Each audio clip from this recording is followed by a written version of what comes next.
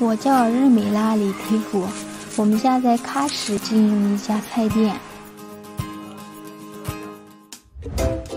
因为现在大家都比较忙，时代也在发展，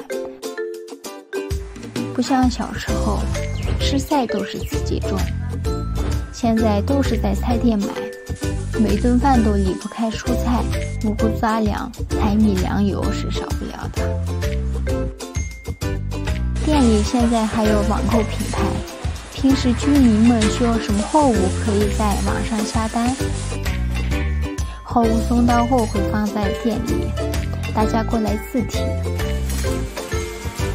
大到成箱水果，小到一盒饼干，全都整整齐齐的摆放着。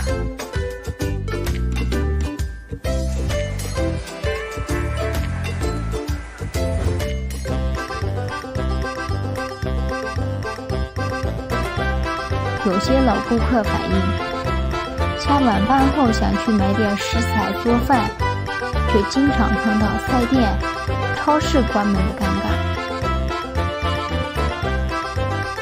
因为家里也有一个三岁的女儿，要照顾家庭，不能回去的太晚。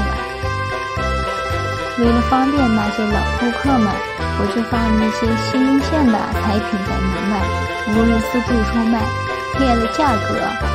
写了牌子，放上二维码。一开始是抱着试试看的想法，没想到，到我回到店里的时候，货和款完全能对上，一分不差。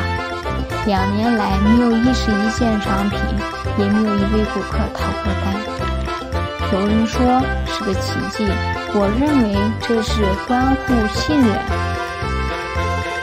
这样做不仅仅是为他人带去安心，还带去了信任。